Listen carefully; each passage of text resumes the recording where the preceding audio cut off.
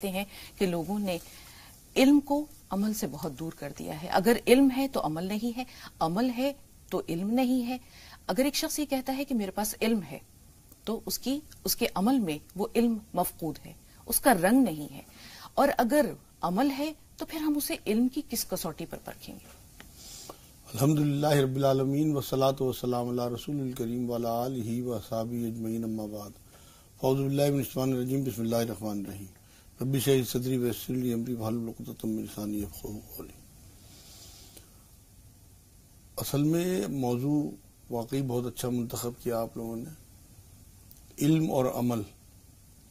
میں اس کی شروعات قرآن کی آیت سے کرتا ہوں، جو پہلی وہی اتری ہے اقرا بسم ربک الذی خلق۔ شروع کرو پڑھائی اللہ کے نام سے۔ اصل علم ہی وہ ہے جو اللہ کے نام سے شروع ہو۔ بات یہ ہے کہ جاننا اور ماننا دونوں ضروری ہے اگر آپ نہیں جانتے، صرف مانتے ہیں، تب بھی آپ مکمل نہیں ہیں اور صرف آپ مانتے ہیں اور جانتے نہیں ہیں، تب بھی آپ نامکمل ہیں۔ علم اور عمل دونوں کا بالکل ایسا ہی ساتھ ہے کہ بنا ایک دوسرے کے کام نہیں ہوتا۔ خالی علم حاصل کر کے اس پہ اگر عمل نہ کیا جائے، تو ایسے لوگوں پہ تو عذاب کی وعید آئی ہے۔ اور صرف عمل کرتے رہے، علم حاصل نہ کریں، ایسے لوگوں کو گمراہ کہا گیا ہے۔ یہ قرآن کی آیتوں سے ثابت ہے۔ اصل بات یہ ہے کہ قرآن میں اللہ رب العزت نے سورہ فاتر ہے، قرآن میں پینتیس نمبر صورت اس کی اٹھائیس نمبر آیت میں یہ کہا ہے کہ اللہ سے علم والے ہی ڈرتے ہیں۔ مطلب اللہ کا تقوی اختیار کرنے کے لیے علم بہت ضروری ہے۔ پہلے جاننا، پھر ماننا۔ اصل علم ہی وہ ہے جو خشیت الہی پیدا کرے۔ ورنہ معلومات ہے۔ اگر بنیادی طور پہ ایمان ہے تو ہر چیز سے ایمان میں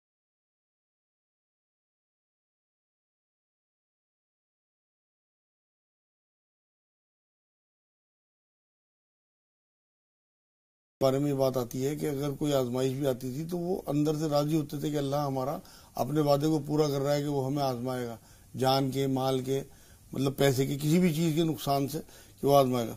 اللہ کی عظمت، اس کا علم، اس کی قدرت، یہ سب چیزیں ان کی وجہ سے معرفت بڑھے گی۔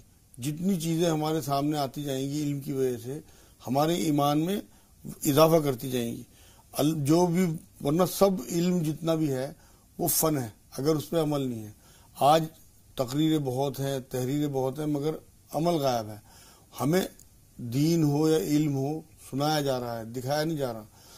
دیکھیے، ایک بار حضرت صلی اللہ علیہ وسلم نے اپنے صحابہ سے یہ بات کہی تھی کہ تم لوگ جس دور سے گزر رہے ہو، اس میں علماء بہت ہیں، خطیب بہت کم ہے اگر تم لوگ اس ٹائم دین کے دسویں حصے کو بھی چھوڑو گے تو نجات نہیں پاؤ گے۔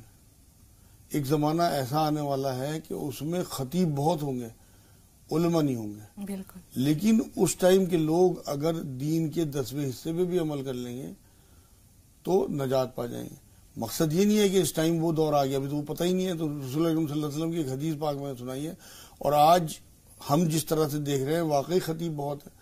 خطبے اتنے حضور اکرم صلی اللہ علیہ وسلم کے زمانے میں تو حضور اکرم صلی اللہ علیہ وسلم خود خطاب کرتے تھے یا ایک دو اور صحابی کا نام آتا ہے؟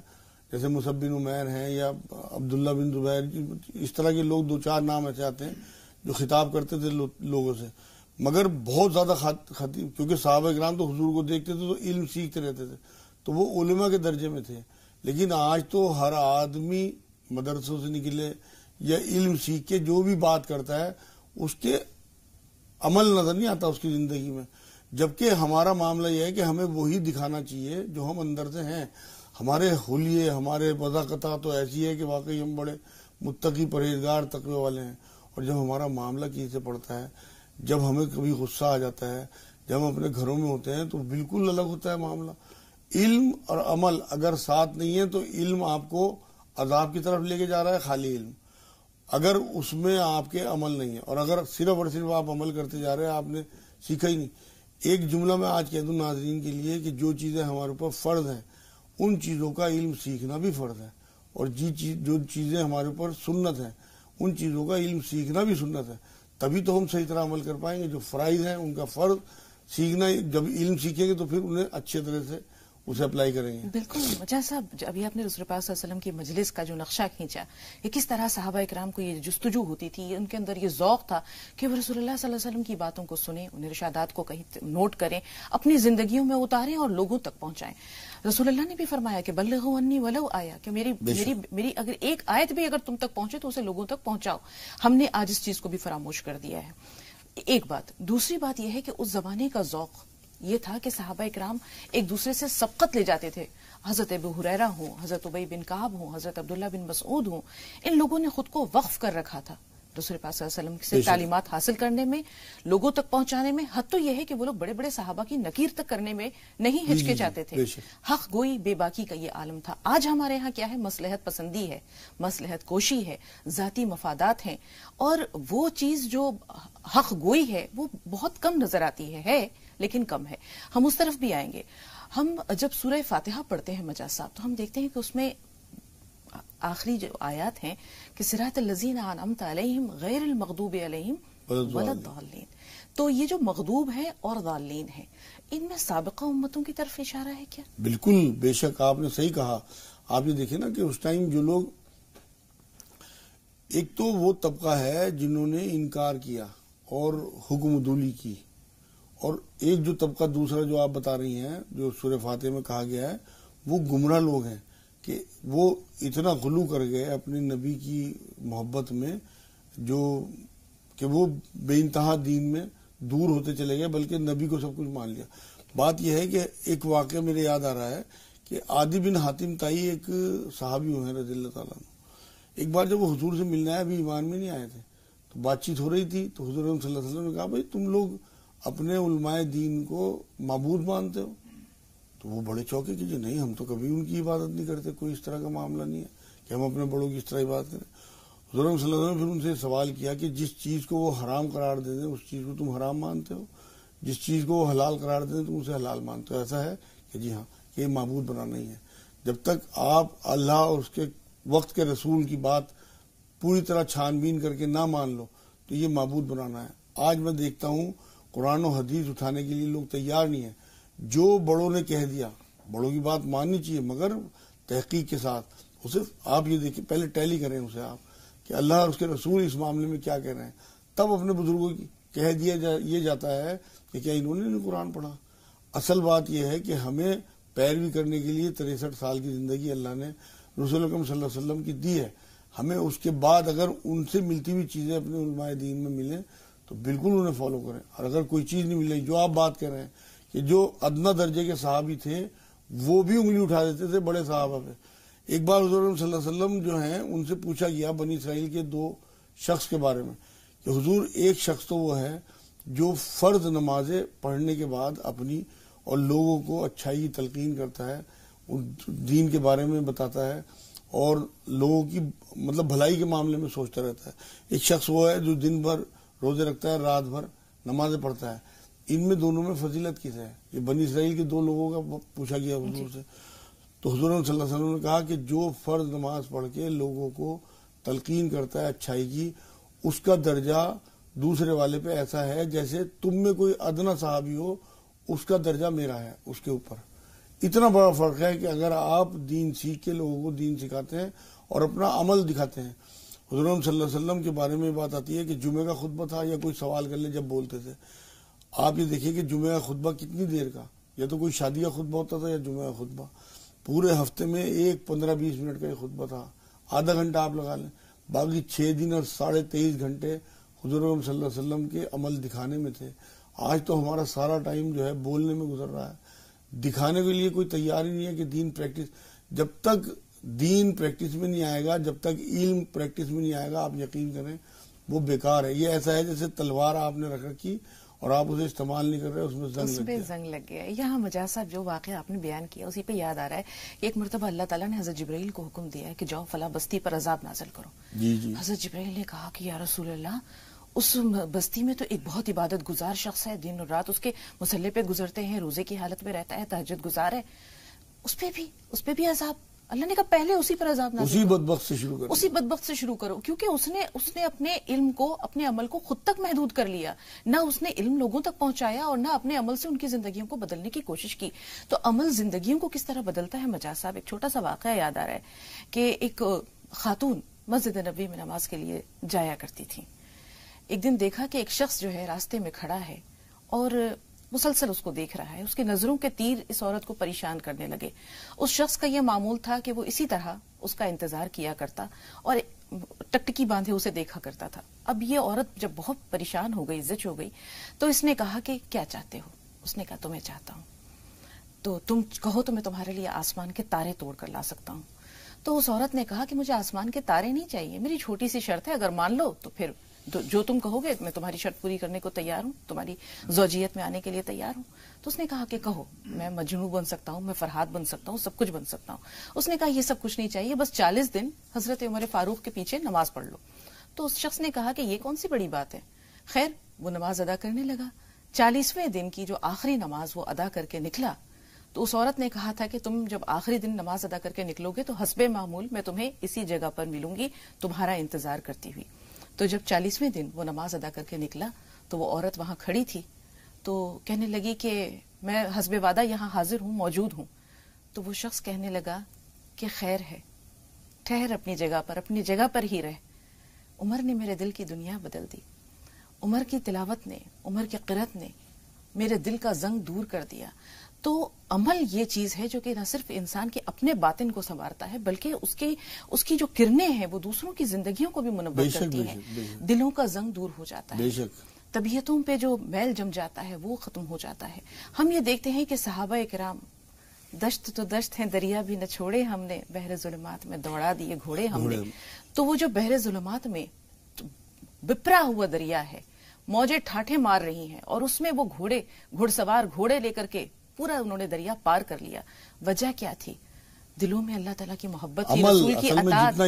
اور قرآن پاک کی قرآن پاک کی سورت تلاوت کرتے ہوئے جی، جی، جی۔ پہلے شخص نے کلمہ پڑھا اور قرآن کی آیات جاری ہیں۔ پورا پورا لشکر قرآن کی آیات پڑھ رہا ہے۔ صحابہ اکرام تلواریں لے کر میدان جنگ میں جب کودتے تھے تو صورتیں تلاوت کیا کرتے تھے وہ۔ چلتے پھرتے قرآن تھے۔ اصل تو بات یہ ہے کہ قرآن پہ عمل کرنا۔ عمل جو ہے اگر علم جو ہے نا اس پہ عمل نہیں ہے تو یہ سب گپے ہیں۔ بیکار بالکل ایسا ہے جیسے آپ نے ڈرائیونگ سیکھ لی اور آپ کار نہیں چلا رہے تو وہ ختم ہے۔ بیکار علم ہے۔ اصل میں بات یہ ہے، اللہ نے جو ہے ہمیں جو علم دیا ہے، اس سے ہمیں یہ دنیا بھی اپنی سنوارنی ہے اور آخرت بھی۔ کائنات میں جتنی بھی پھیلی ہوئی چیزیں ہیں، اللہ رب العزت نے انہیں مسخر کر دیا، قرآن یہ کہتا ہے۔ اب علم کے ذریعے ہم نے انہیں سنوارنا ہے۔ کائنات اللہ رب العزت نے مسخر کر کے ہمیں دے دی۔ اب ہمیں اپنے علم سے اسے سنوار کے اللہ کو واپس کرنا ہے کائنات کو۔ اپنے علم و عمل سے خوبصورت بنانے کا نام ہی مطلب اس کائنات کی خوبصورتی ہے۔ یہ سمجھیں آپ کہ دین کی سمجھ اصل میں یہ ہے کہ جتنا علم ہمیں آئے، اس پہ عمل شروع کر دیا جائے فوراً۔ یہ دین کی سمجھ ہے۔ حکمت جس کا ذکر حضور صلی اللہ علیہ وسلم کے لیے آیا ہے بار بار، وہ یہی ہے کہ علم حاصل کریں اور اسے اپنی زندگی میں اپلائی کریں یہ حکمت ہے۔ صحیح استعمال علم کا حکمت کہلاتا ہے۔ آپ یہ دیکھیں کہ ایک حدیث یہ ملتی ہے حضور صلی اللہ علیہ وسلم نے بار یہ بات فرمائی کہ پانچ سوالوں کے جواب دیے بنا کوئی آگے نہیں بڑھ سکتا۔ ان میں پانچ سوال جو ہیں تو یہ کہ آپ کو جو عمر دی وہ کیسے گزاری جوانی جو دی کیسے گزاری۔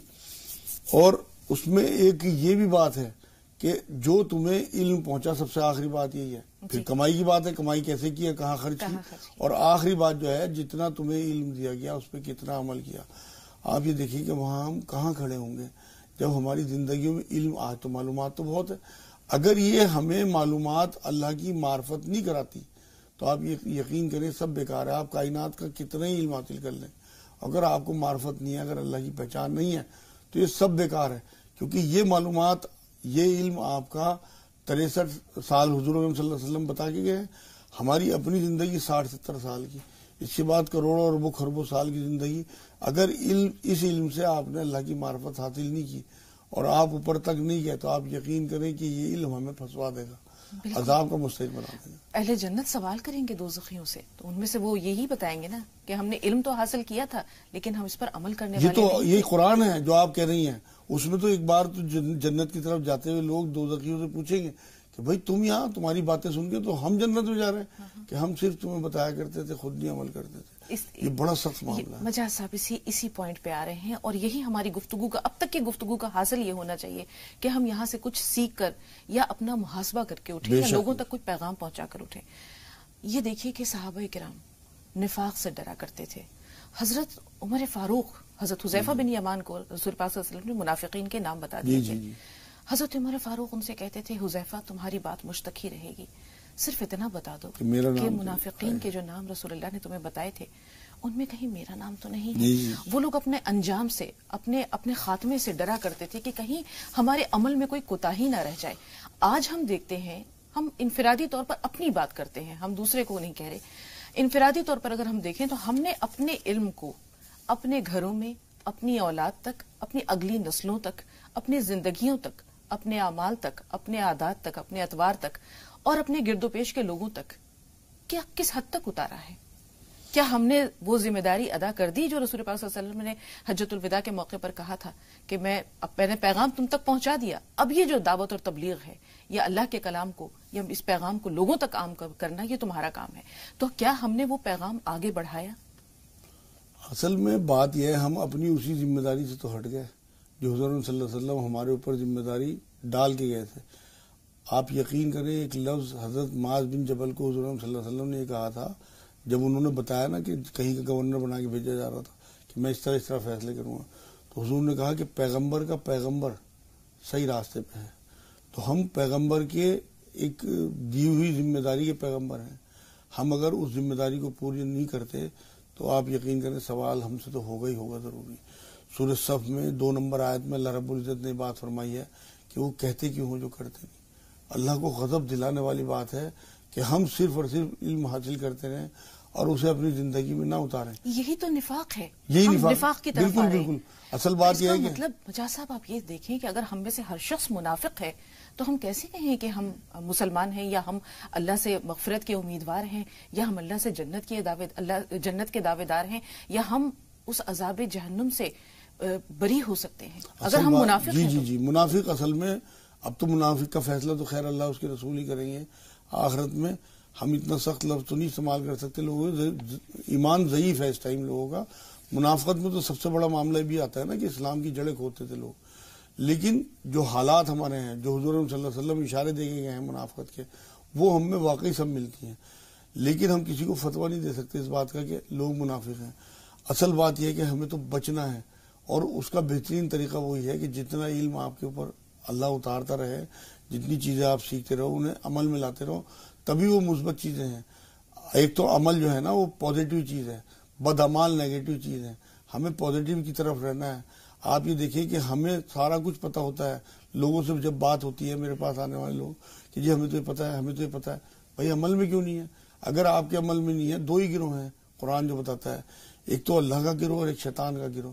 جو لوگ عمل والے ہیں علم کے ساتھ ساتھ، وہ اللہ سے ڈرنے والے، خشیت الہی، وہ عمل والے لوگ ہیں، وہ اللہ کے گروہ کے لوگ ہیں۔ اور جو عمل پیرا نہیں ہے اپنے علم پہ وہ شیطان کے گروہ کے لوگ بالکل جو انسان ہے اس, اس کو ہمیشہ پر امید رہنا چاہیے مسلمان کو پر امید۔ رہنا چاہیے اس کا دل خوف اور رجا کے درمیان ہو۔ ایک طرف وہ اپنا محاسبہ بھی کرے اللہ کی رحمت کا امیدوار بھی ہو اور اپنے عمل میں اور اپنے عادات و اتوار میں یا اپنی عبادات میں وہ خلوص بھی پیدا کرے۔ ہر جگہ سے ہر جگہ جہاں سے ملے علم و حکمت لے لے حضور نے فرمایا کہ علم و حکمت مومن کی کھوئی ہوئی پونجی ہے۔ جہاں سے ملے اسے حاصل کر لو۔ بالکل۔ مجاز صاحب دو کالرز ہیں انشاءاللہ آپ سے گفتگو کا سلسلہ آگے بھی اگر موقع ملا تو جاری رکھیں گے۔ سنا اور شہناز سنا آپ بتائیے آپ کا سوال کیا ہے؟ مجھے مجھے مولانا صاحب سے بات کرنی ہے۔ جو چالیس دن کا عمل بتایا تھا ربین مغلوفین اور سورہ فرقان کی چون نمبر کی آئے رشتوں کے بارے میں تو آتے ہیں مگر جمتی نہیں ہے بات۔ جی پہلا سوال کیا تھا؟ مجاز صاحب آپ تک پہنچا؟ جی جی۔ ٹھیک ہے سنا تھوڑا سا انتظار۔ شہناز صاحبہ سوال بتائیے۔ جی السلام علیکم۔ مولانا صاحب کو بھی السلام۔ رحمۃ اللہ۔ جی میرا سوال ہے نا میرا ہم اپنا ایک بیٹا اپنی نند کو گود دے چکے ہیں بچپن میں ہی۔ جی۔ اب وہ جوانی میں ہے۔ اور یہ جاب کے جاب کرتا ہے۔ جی۔ تو جاب کے دوران کوئی غیر مسلم لڑکی سے اس کی دوستی ہوئی اور اپنے والدین کو جو ان کے پاس ہے والدین میں نہیں۔ ان سے بول کر کے بولا کہ میں مجھے اسی سے نکاح کروا دیجیے جی۔ والدین لوگ تو بولے کہ نہیں وہ اسلام قبول کر کورٹ میں بھی اسلام قبول کری اپنی مرضی سے اور اس کا نکاح ہو گیا۔ لیکن ایک دو مہینے کے بعد وہ اتنی پریشان کرنے لگی گھر والے لوگ کو مقدمہ مقدمہ چلا دی میرے بیٹے پر ان لوگ کے گھر والے پر۔ اور ابھی تک اسی طرح میں مبتلا ہے تو اس کے لیے مجھے کچھ ایسا بتلائیے کہ میرا بیٹا اس مقدمے سے مل نجات مل جائے اس کو۔ اور پھر دوسری شادی کر لے۔ سے بات کریں گے۔ روحی تھوڑا سا انتظار۔ آفرین سوال بتائیے۔ آپ دونوں کو میرا بہت بہت السلام علیکم۔ وعلیکم السلام ورحمۃ اللہ وبرکاتہ۔ جی بہن۔ آپ دونوں آپ لوگوں کا پروگرام بہت اچھا ہے۔ ہم لوگوں کو الحمد للہ بہت زیادہ فائدہ ہوا ہے۔ اللہ پاک آپ کے پروگرام کو ایسے ہی کامیابی دیتا رہے۔ ہمیشہ آمین آمین ثم آمین۔ جی آفرین بہت شکریہ۔ سوال بتائیے اگر کوئی سوال ہے تو۔ میرے کو یہ پوچھنا ہے کہ میرے لیور میں بہت زیادہ پرابلم رہتی ہے بہت زیادہ ڈاکٹرس نے میرے کو یہ بول دیا ہے کہ آپ کا لیور ویک ہے اور جب بھی میں کچھ کھاتی ہوں مجھے کبھی بھی کچھ ڈائجسٹ نہیں ہوتا ہے میرے سب اپر ابڈومن میں میری بہت زیادہ ہمیشہ پرابلم ہونے لگتی ہے ایسیڈیٹی ہوتی ہے اور بہت زیادہ اسٹریس بھی رہتا ہے ہمیشہ۔ تو مجھے مولانا صاحب سے یہ پوچھنا ہے کہ میرے کو کوئی ایسا علاج بتا دیجیے جس سے ہمیشہ کے لیے ٹھیک ہو جائے۔ موشن ٹھیک ہے؟ آپ کو قبض وغیرہ تو نہیں رہتا؟ موشن ٹھیک ہے آپ جی رہتا ہے۔ زیادہ تر ہے۔ ٹھیک۔ روحی سوال بتائیے۔ جی۔ روحی صاحبہ ہمیں سن پا رہی ہیں آپ؟ ہیلو۔ جی بہن ذرا بلند آواز سے آپ کی آواز بہت ہلکی آ رہی ہے۔ جی شوہر ہمارے جو السلام علیکم۔ وعلیکم السلام۔ جی۔ جی جی۔ ذرا بلند آواز سے روحی جی، آواز کا کچھ۔ پرابلم ہے آپ کی آواز ہم تک صاف طرح سے پہنچ نہیں رہی ہے۔ السلام علیکم۔ وعلیکم السلام۔ جی روحی۔ السلام علیکم السلام علیکم۔ وعلیکم السلام۔ ٹی وی ٹی وی بند کی آواز جو ہے تھوڑی دیر کے لیے بند کر دیجیے میوٹ کر جی، دیجیے سوال بند بتائیے جی بہت مہربانی سوال بتائیے۔ جی شوہر ہمارے جو ہے بالکل نماز نماز ایک دم نہیں پڑھتے۔ ہیں ٹھیک ہے باقی لوگ گھر میں نماز کی پابندی کرتے ہیں روحی؟ جی جی سب کرتے ہیں تو ان سب کو نماز پڑھتے دیکھ کر۔ ان سب کو نماز پڑھتے دیکھ کر ان کا دل نہیں چاہتا نماز پڑھنے کے لیے۔ پڑھ- کے دم کر کے پلا دی۔ مگر وہ کسی طرف ان کا دل مائل ہوتا ہی نہیں ہے۔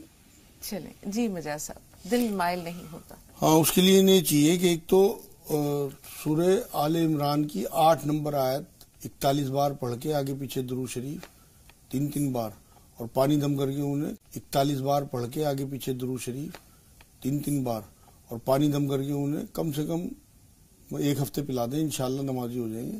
یا ولی پڑھ کے جمعرات کی رات کو ان کے لیے دعا کریں، ایک ہزار بار یا ولی پڑھ کے۔ اور جب وہ سوتے ہو تو اکیس بار یا شہید سرانے کھڑے ہو کے ان کے اوپر دم کریں۔ انشاءاللہ نمازی، انہیں زیادہ ٹوکے نہ، بلکہ اللہ سے دعا کریں۔ کیونکہ انہیں زیادہ ٹوکیں خدا نہ خواستہ کوئی انہوں نے اس طرح کے الفاظ نکال دیے جو ایمان کے خلاف ہوئے۔ تب بھی گڑبڑ ہو جائے گی۔ صرف اور صرف دعا کریں اللہ اپنا آپ ہدایت دیں گے انشاءاللہ جب دینی ہوگی جی۔ آفرین صاحبہ کا سوال لیور سے متعلق ہے۔ ہاں۔ ایسیڈیٹی بھی ہے قبض بھی رہتا ہے؟ انہیں چاہیے کہ ایک تو تین سو بار لاہور ولا قوت اللہ باللہ پڑھنا شروع کریں۔ ڈیڑھ سو بار صبح ڈیڑھ سو بار شام۔ اور ایک سورہ زلزلال ہے۔ زلزال اس میں ننانوے نمبر صورت ہے اس کی دو نمبر آیت کا ویٹ کریں تو لیٹرین انشاءاللہ انہیں کھل کے ہونے لگے گی اس سے لیور ان کا کافی ٹھیک ہوگا۔ ایک چیز آتی ہے لسوڑے۔ وہ پسوا کے رکھ لیں اور ایک چمچ لسوڑے کھانے کے بعد دونوں ٹائم پسے ہوئے۔ تین منقع صبح دوپہر شام۔ اور کالی ہرڑ، چھوٹی ہرڑ آتی ہے، اسے تھوڑا سا دیسی گھی میں تل کے اور اسے پیس لیں گرائنڈر میں اور آدھا چمچ رات کو سوتے ہوئے کھا لیا کریں۔ انشاءاللہ صبح وہ موشن ٹھیک ہوں گے اور ان کی طبیعت بالکل ٹھیک رہے گی آگے۔ جی۔ نظر صاحب، فرمائیے سوال کیا ہے آپ کا؟ ایسا لگتا ہے رابطہ نہیں رہا۔ ناظمہ صاحبہ آپ بتائیے آپ کا سوال کیا ہے؟ ناظمہ صاحبہ جی آپ سے مخاطب ہیں۔ ٹی وی کی آواز؟ میوٹ کر دیجیے سوال بتائیے۔ نہیں نہیں نہیں کٹی سن رہے ہیں آپ کو سوال بتائیے۔ ناظمہ صاحبہ بات کیجیے ہاں ہلو السلام علیکم۔ وعلیکم السلام ورحمۃ اللہ وبرکاتہ۔ جی بہن۔ السلام علیکم۔ السلام علیکم۔ وعلیکم السلام ٹی وی کی آواز بند کر دیجیے السلام علیکم۔ بہن بہت معذرت خواہ ہیں کہ آپ سے بات نہیں ہو سکے گی رابطے میں خلل آ رہا ہے۔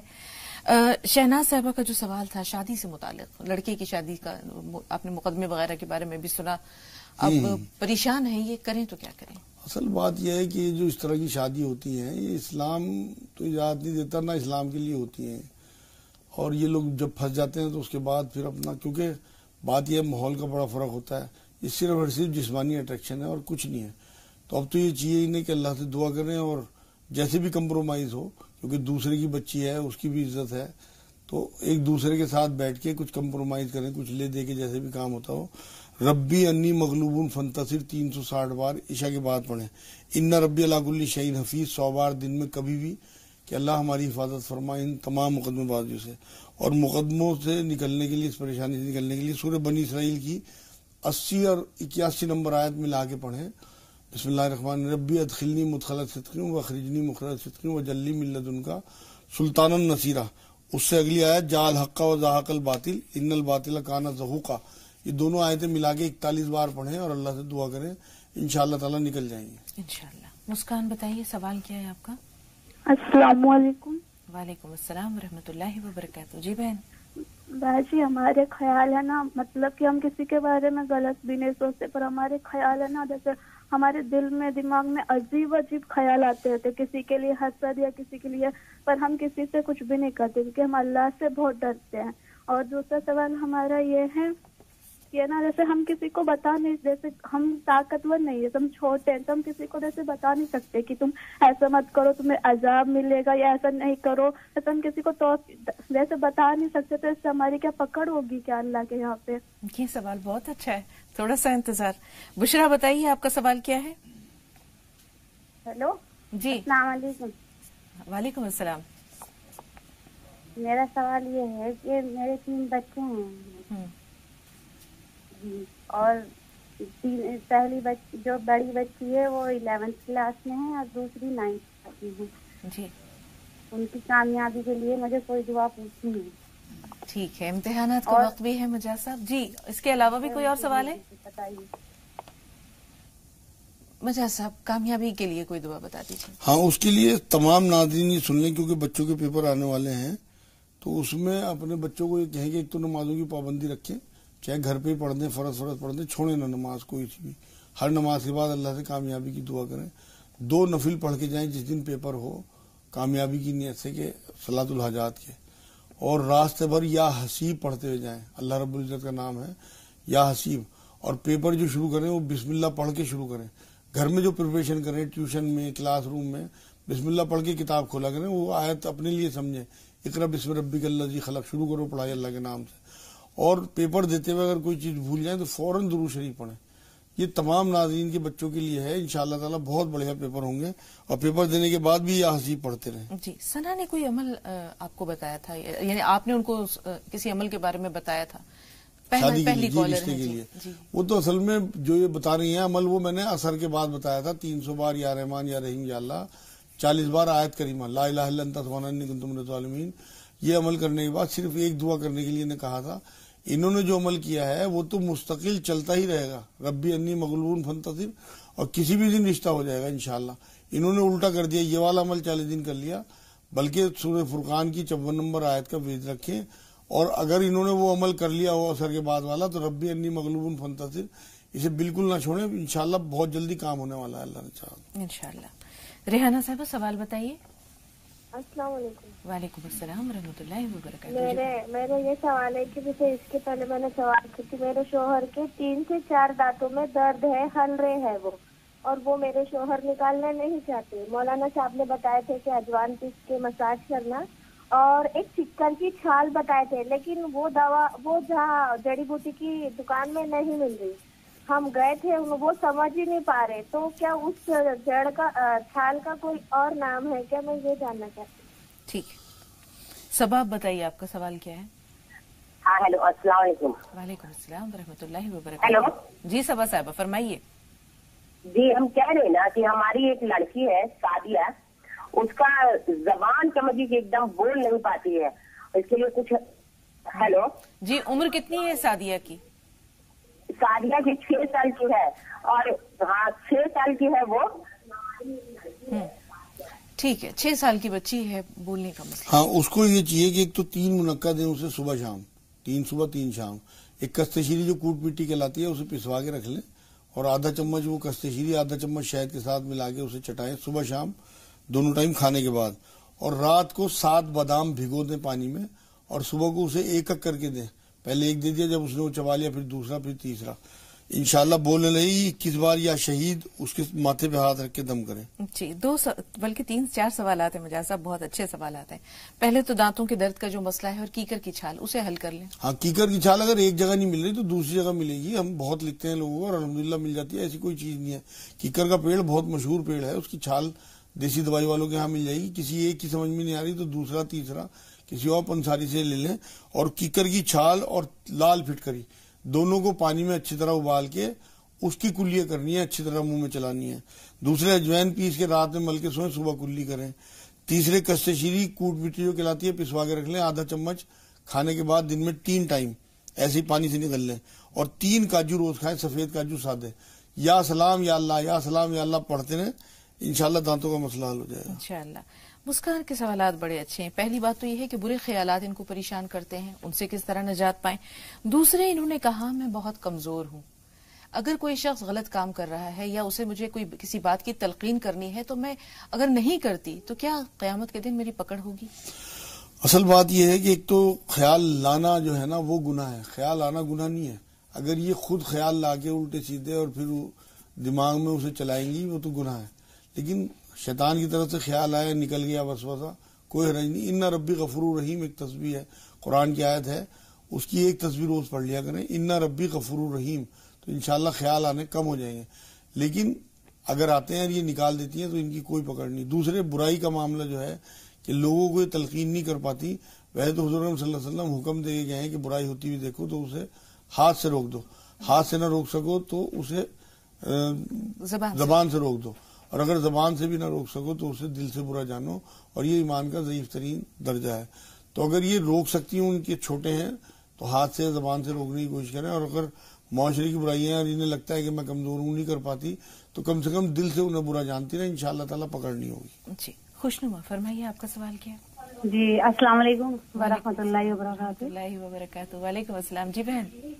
جی باجی ہمیں ہم نے پچھلے بھی بار اپنی امی کے لیے سوال پوچھا تھا کہ ان کے کمر میں درد ہونے لگتی ہے اور ان کی سانس پھولنے لگتی زیادہ دور چلتی ہے لیکن اس کا سوال کا صحیح ہم لوگوں کو جواب بھی نہیں مل پایا تھا۔ چلیں آج غور سے سنیے ہاں باجی۔ دوسرا سوال لے لیجیے کہ باجی شادی کے پرپز سے کوئی اچھا رشتہ بتا دیجیے ٹھیک ہے اس کے لیے دعا بھی ضرور بتائیں گے مجاز صاحب۔ تھوڑا سا انتظار۔ فیروزہ آپ کا سوال کیا ہے؟ فیروزہ ہمیں سن پا رہی ہیں۔ السلام علیکم۔ وعلیکم السلام۔ جی بہن۔ بس جی میرا بھتیجا ہے۔ ہاں اس کی بھتیجا ہے میرا۔ ہاں ہاں۔ تو اس کی ہائٹ نہیں بڑھ رہی۔ گیارہ سال کا ہے۔ گیارہ تو کسی ہاں کسی کو دکھایا تھا تو وہ بولے اس کی ہائٹ نہیں بڑھے گی۔ کسی نے اس کے میاد کا کروایا ہوا ہے۔ مجاز صاحب اس کا جواب بتائیے رہنمائی کیجیے سلسلے میں۔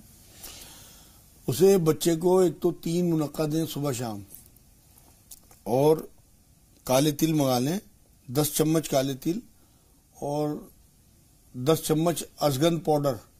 کالے تل پیس کے ازگن پاؤڈر میں ملا لیں اور ستر بادام پیس کے ان دونوں جو سفوف تیار ہوا اس میں ملا کے اور اسے ایک چمچ دودھ سے صبح شام دینا شروع کریں۔ ایک مہینے میں اس کی ہائٹ ناپ لیں ان شاء اللہ تعالی۔ ستر بادام، دس چمچ کالے تل اور دس چمچ ازگن پاؤڈر۔ یہ تینوں چیزیں پسی ہوئی ملا کے سفو بنا لیں اور ایک چمچ دودھ سے اسے دینا شروع کر دیں۔ اگر بچہ بہت چھوٹا ہو تو آدھا چمچ صبح شام دیں ورنہ ویسے ایک چمچ دے سکتی ہیں کیونکہ دس سال سے بڑا ہے۔ اور اسے یاد کرا دیں یا رحمان یا رحیم یا اللہ۔ ایک تصویر بھی اس نے پڑھ لی۔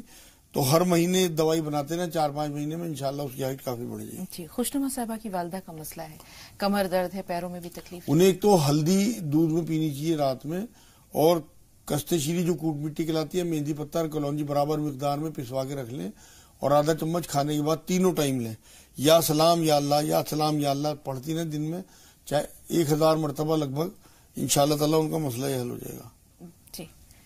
رشتے کے لیے تھوڑا سا انتظار تبسم سے بات کر رہے ہیں۔ آصف بھائی فون پہ رہیے گا آپ سے بھی بات ضرور کریں گے۔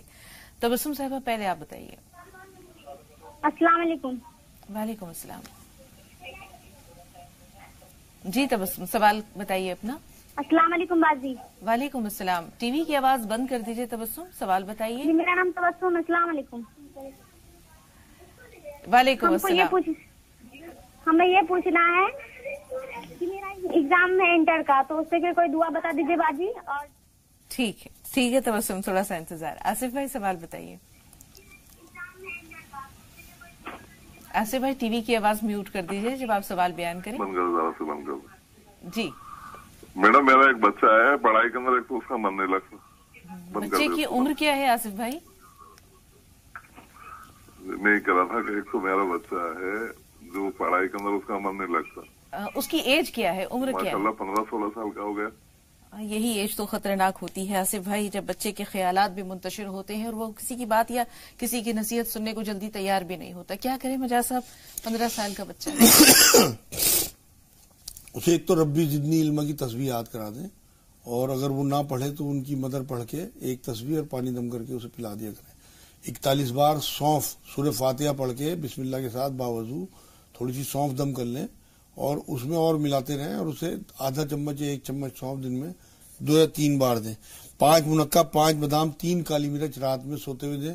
اس کا مائنڈ شارپ ہوگا چیزیں یاد ہوں گی تو انشاءاللہ اس کا دل بھی لگنے لگے مجاز صاحب، بچے والدین کو اپنا دشمن سمجھنے لگتے ہیں، اگر نصیحت کی جائے، اگر ان کو ہدایت کی جائے۔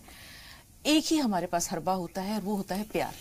پیار والدین اپنے بچوں کو یعنی ٹریک پر لا سکتے ہیں، سیدھے راستے پہ لا سکتے ہیں، یا ان کا جو ٹارگٹ ہے، جو ان کا گول ہے، اسے اچیو کرنے میں مدد کر سکتے ہیں۔ کیونکہ بچے اس وقت اپنے آپ کو بہت کچھ سمجھنے لگتے ہیں، تیس مار خان سمجھنے لگتے ہیں ترم خان سمجھنے لگتے ہیں۔ انہیں لگتا ہے ہم تو وہ سب کچھ جانتے ہیں جو ہمارے والدین نہیں جانتے، یا ہم ان سے ایک قدم آگے ہیں، اگلی جنریشن ہے۔ ہم تو والدین کے لیے بہت مشکل ہوتا ہے یہ مسئلہ خاص طور پر تین ایج کا یہ جو تیرہ سال سے لے کر انیس سال کی عمر ہے۔ اس میں بڑی حکمت سے بڑی مسلحت سے بچوں کو سنبھالنا پڑتا تو بچپن سے اصل میں ہم بچپن سے تربیت نہیں کرتے۔ ہم تین سال کا ہوتے ہیں اپنی سہولیت کے لیے انہیں اسکول بھیج دیتے ہیں۔ جی۔ جبکہ ان کی وہ عمر ہمارے ساتھ کھیلنے کی سمجھنے کی تربیت کی ہوتی ہے۔ اس کے بعد جب یہ بگڑنے شروع ہوتے ہیں کیونکہ نیٹ کا زمانہ ہے وہ اور یہ بچپن اور جوانی کے بیچ کی جو عمر ہے نا یہ تو بہت ہی خطرناک ہے اس میں تو سمجھانے والا دشمن لگتا ہے چاہے وہ ماں باپ ہی کیوں نہ ہو۔ جی۔ تو بہت حکمت کے ساتھ کسی ایسے گروپ میں انہیں جوڑا جائے جو دیندار گروپ ہو اور اللہ اس کے رسول کی چیزیں دل پہ اثر کرتی ہیں۔ حکمت کے ساتھ اگر انہیں سمجھایا جائے تو ایسا نہیں ہے بچے آج بھی الحمدللہ اچھے بچے بھی ہیں۔ تو انہیں بس حرام سے بچانا ہے۔ بات یہ ہے کہ واضح ہو جانا چاہیے بیٹے یہ چیزیں آپ کے لیے حلال ہے یہ چیزیں حرام ہے اگر حرام اور حلال واضح ہوگا تو انشاءاللہ تعالی۔ اور سختی اور تنقید اس سے دونوں چیزیں دونوں گریز کرنا چاہیے۔ جی،, جی جی جی۔ مطلب سختی جہاں ضروری ہو۔ ہاں۔ اصل تو چیز نرمی ہے۔ ہاں۔ حضور صلی اللہ علیہ وسلم کا رویہ تو نرمی کا ہوتا تھا۔ لیکن کہیں کہیں سخت بھی ہونا پڑتا ہے۔ جیسے ٹیچر ہیں وہ اگر سختی نہیں کریں گے تو بچے پڑھیں ایسے ہی ماں باپ کا معاملہ ہے۔ جہاں دیکھا کہ حرام کی طرف ذرا سا بھی رجحان ہے فوراً سختی۔ دونوں چیزیں بہت ضروری بالکل مرجا صاحب۔ خدیجہ صاحب سوال بتائیے۔ السلام علیکم۔ وعلیکم السلام ورحمۃ اللہ وبرکاتہ۔ جی بہن۔ جی آج کا ٹاپک آپ کا سنا بہت اچھا ٹاپک ہے آج کا۔ اس سے ریلیٹڈ میرا یہ سوال ہے کہ ہم جتنا بھی علم حاصل کرتے ہیں علم گفتگو سن کر یا خطبات سے یا کتابوں کے مطالعے سے لیکن اتنا عمل ہم چاہتے ہوئے بھی نہیں کر پاتے ہیں جتنا کہ ہمیں کرنا چاہیے۔ تو ہم اس کے لیے کیا کریں کہ عمل کرنا ہمارے لیے آسان ہو جائے؟ اس کے لیے کچھ پڑھنے کے لیے مولانا صاحب ہو تو کچھ بتائیں پڑھنے کے لیے۔ بہت اچھا سوال ہے۔ تھوڑا سا انتظار خدیجہ اچھا لگتا ہے آپ کے سوالات ماشاء اللہ کافی اچھے ہوتے ہیں۔ لیاقت صاحب آپ بتائیے آپ کا سوال کیا ہے؟ السلام علیکم۔ وعلیکم السلام۔ جی بھائی۔ میرا سوال ہے میری بیوی بہت ماشاء اللہ نماز پڑھتی ہے روزے رکھتی ہے سب کچھ ہے لیکن تھوڑی نافرمانی کرتی ہے اور زبانیں کرتی ہے نافرمانی کرتی ہے کہیں کہیں کیا کریں؟ اصل میں بات یہ ہے نا کہ مرد حضرات جو ہوتے ہیں نا وہ یہ سوچتے ہیں کہ یہ ہم جو ہیں وہ سب کچھ صحیح کر رہے ہیں، یہ غلط کر رہی ہیں۔ یہ اپنا بھی محاذبہ کریں کہ یہ ان کی کیا کیا نافرمانی کرتی ہیں۔ عورت اور مرد گاڑی کے دو پہیے ہیں۔ اگر یہ اپنی کمیاں دور کر لیں گے تو ان شاء اللہ تعالیٰ عورتوں کو تو اللہ نے زیادہ نرم بنایا ہے اور وہ حکمت بھی ان کے اندر اس بات کی زیادہ ہوتی ہے کہ اپنے ہسبینڈ کو زیادہ سمجھتی ہیں۔ تو ان شاء اللہ تعالیٰ اور بہت اگر انہیں پریشانی ہو رہی تو جب وہ سوتی بھی ہوں تو رات کے بیچ میں اٹھ کے کس بار یا شہید ان کے سرانے کھڑے ہو کے دم کریں۔ کسی دن مغرب کے بعد یا ودود ایک ہزار بار پڑھ کے چینی دم کر کے انہیں کھلا دیں انشاءاللہ تعالیٰ بالکل چینج ہو جائیں گے۔ جی، رشتے کے لیے سوال ہے خوشنما کا کہ اچھے وہ تو سب کے لیے وہی بات ہے رشتے کے لیے ایک تو سور فرقان جو انیسویں پارے میں ہے اس کی چون نمبر آیت کا ورد کریں۔ انشاءاللہ تعالیٰ رشتے آنے شروع ہو جائیں گے ایک عمل بنا لیں۔ تین سو بار یا رحمان یا رحیم یا اللہ۔ چالیس بار آیت کریمہ لا الہ الا انت سبحانہ انی کنت کی نماز کے بعد وہیں بیٹھے رہیں بنا بات کریں۔ اور یہ عمل کر کے صرف ایک دعا کریں کہ اللہ اپنی پسند کا رشتہ بھیج دیجیے۔ چالیس دن کا عمل ہے جتنے پیریڈ کے دن ہوں گے اتنے آگے بڑھانے اور کوئی ناغا نہیں ہے۔ جی مجاز صاحب تقریباً ایک سے سوا منٹ ہمارے پاس ہے اور یہ خدیجہ کا سوال بہت اہم ہے کہ جو علم لسانی ہے یہ دلوں کی دنیا بدلنے پر کیوں نہیں آج کل قادر ہے؟ اگر عمل میں اس کو اتارنے کے لیے کیا درکار ہے؟ خطبہ حضرات سے چاہے جو سننے والے ہیں ان کی طرف اس کے لیے دو چیزیں ہیں۔ ایک تو زیادہ سے زیادہ عمل کریں جتنا بھی جتنی استطاعت ان کی ہو، حضور نے یہی بات فرمائی کہ جتنا علم تم سے پہنچے، اپنی استطاعت کے مطابق اس میں عمل کرو۔ دوسرے دعا کیا کریں؟ ان ربی اللہ کلی شہین قدیر، ایک تصویر پڑھیں اور اللہ سے دعا کریں، کیونکہ صبر اور سلاد سے حکم ہے قرآن میں مدد چاہنے کا۔ اپنے عمل کو بڑھا دیں، جتنا بھی زیادہ زیادہ یہ کر سکیں اور دعا کرتی رہیں۔ ان شاء اللہ تعالیٰ لوگوں تلقین بھی کریں، کیونکہ لوگوں کو تلقین کرنے میں خود بھی یاد دہانی ہوتی ہے۔ تو ان شاء اللہ تعالیٰ یہ ان کی فکر ہی ان کے ایمان اور علم کا حصہ ہے۔ قرآن میں اللہ رب العزت نے یہ بات کہی ہے ایک جگہ کہ ایمان و علم والوں کا درجہ وہ ایمان والوں پہ زیادہ ہے۔ تو ایمان کے ساتھ ساتھ انہیں علم مل رہا ہے۔ تو یہ ان لوگوں سے زیادہ بہتر ہے جو صرف ایمان والے ہیں، جنہیں علم نہیں ہے۔ بہت شکریہ مجاز صاحب اسٹوڈیو میں تشریف آوری کے لیے اور ناظرین کی بھرپور رہنمائی کے لیے۔ اللہ آپ کو صحت و عافیت دے، انشاءاللہ پھر آپ سے ملاقات ہوگی۔ تو زی سلام دیکھتے رہیں، پروگراموں کا اور خبروں کا سلسلہ جاری اور ساری ہے۔ ہمیں اگلی ملاقات تک کے لیے اجازت دیجیے، اللہ تعالیٰ آپ سب کو اپنے حفظ و امان میں رکھے۔ السلام علیکم ورحمۃ اللہ وبرکاتہ۔